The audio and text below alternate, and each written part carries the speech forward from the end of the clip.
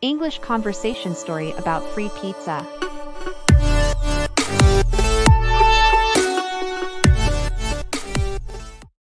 Oh no!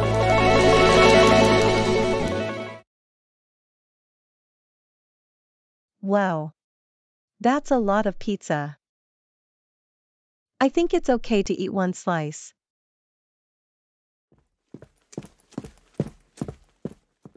Hey! That's for people who work here. Sorry, I.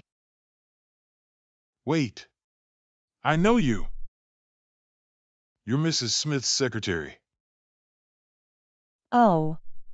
Well, I need to go back to work. Enjoy the pizza.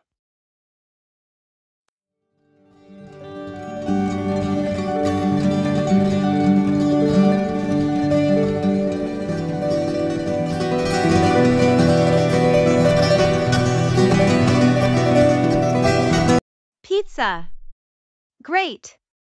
I'm so hungry. Oh, have we met? no. I'm Jason. What do you do for the company? Oh. Well, I'm Mrs. Smith's secretary. That's interesting. Because I'm Mrs. Smith. And you're not my secretary. Oops. I need to go now. Nice to meet you. Thank you for watching.